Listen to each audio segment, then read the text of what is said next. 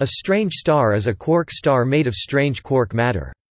They form a subgroup under the quark star category. Strange stars might exist without regard of the Bodmer-Witten assumption of stability at near zero temperatures and pressures, as strange quark matter might form and remain stable at the core of neutron stars, in the same way as ordinary quark matter could. Such strange stars will naturally have a crust layer of neutron star material. The depth of the crust layer will depend on the physical conditions and circumstances of the entire star and on the properties of strange quark matter in general. Stars partially made up of quark matter, including strange quark matter, are also referred to as hybrid stars. This theoretical strange star crust is proposed to be a possible reason behind the ever mysterious fast radio bursts (FRBs).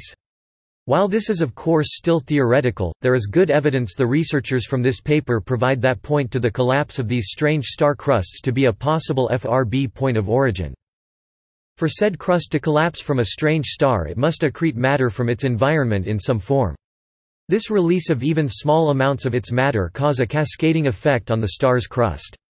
Which is thought to result in a massive release of magnetic energy as well as electron and positron pairs, in the initial first stages of the collapsing stage. This release of high-energy particles and magnetic energy in such a short period of time causes the newly released electron-positron pairs to be directed towards the poles of the strange star due to the increased magnetic energy created by the initial secretion of the strange star's matter. Once these electron-positron pairs are directed to the poles they are then ejected at relativistic velocities, which is then believed to be one of the causes to what astronomers in the past 11 years of observing this phenomenon known as FRBs could be. Original scientific paper source Simpler breakdown of said scientific paper Theoretical investigations have revealed that quark stars might not only be produced from neutron stars and powerful supernovae, they could also be created in the early cosmic phase separations following the Big Bang.